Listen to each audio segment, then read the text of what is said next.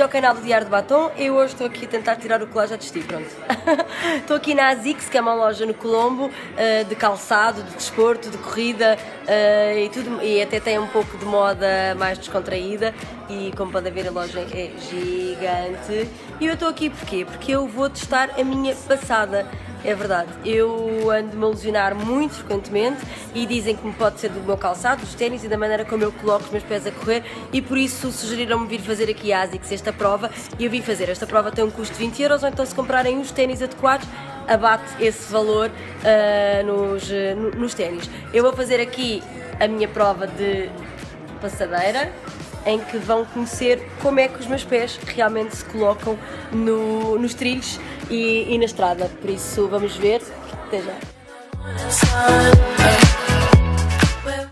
O seu peso no seu primeiro dedo. Posso? Aqui é o seu pé em 3D. Que é?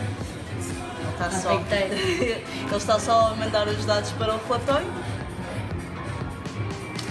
O eixo vermelho vai dizer o seu tendão daqueles é uma pessoa neutra, tem uma passada neutra. É uma pessoa normal, afinal.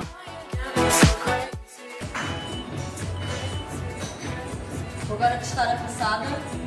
Vai estar ali no, no, no monitor, vai estar a dar o, o que eu estou a fazer, bem errado. E pronto, olha. Vamos ver se eu sou coxa.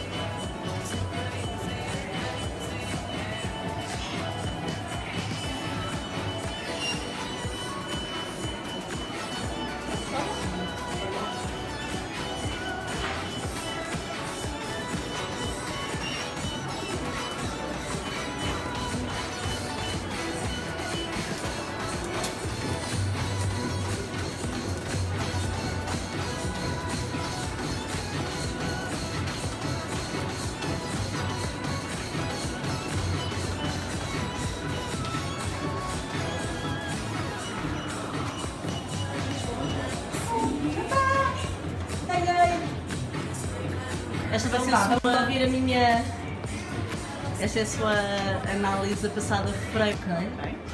Na fase desenrolar passada, existe uma pequena... Eu já tinha pensado nisso, por acaso. Isso também é importante porque quanto mais para fora estiver o nosso pé, mais estão assim fica é? Fica assim um bocadinho... E ali existe uma barreirinha, aqui não existia. Esta articulação é quando existe a formação, é aqui que eu vou marcar a amplitude e também lembrar que sempre que nós corremos nós triplicamos o nosso peso, portanto a pronação se fizer uma quilometragem mais... Estou agora aqui a saber, estou um bocado bolachada, mas eu estive a correr e fiquei cansada, por isso é que eu estou com blush. Mas eu estou aqui com a Cláudia, da ZIC, é verdade. E a Cláudia agora, depois de ter feito a avaliação do, do meu pé e da minha passada e de como é que eu coloco isto e a compensação que eu faço por causa da minha lesão do joelho, etc. Uh, nós vamos agora, ela vai me dizer qual é que é o ténis, os ténis que me sugere para eu correr. Por isso, Cláudia, podes agora então...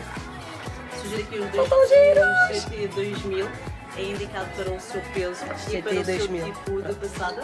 Tem amortecimento atrás para uh, proteger ali a zona do primeiro impacto ao sol e depois tem aqui as pecinhas que vão fazer com que um, vão tentar fazer com que a sua passada seja o mais neutra possível. O Trust e o Dual Max vão lhe dar toda a estabilidade possível para impedir que faça rotação interna, a chamada pronação. E são giros? Não só estes, como estes são maravilhosos. Que é que eu tenho que passar para ter estes? Mas pronto, só para vocês verem que para correr também se podem ter para correr de forma correta também se pode ter ténis giros certo? Exatamente. Uh, e termos principalmente uh, a preocupação de não nos lesionarmos, de correr o mais, o mais possível, uh, sem qualquer fazer qualquer transtorno noutra parte do corpo. Uma delas, a, a das mais complicadas, que é sempre o joelho, e tornozelos também, penso que são, são das mais sensíveis todas. Por isso, obrigada pela, pela dica. Eu vou agora iniciar numa corrida muito mais, muito mais forte e muito mais segura se mudar para ASICS. Então, um beijinho, até já!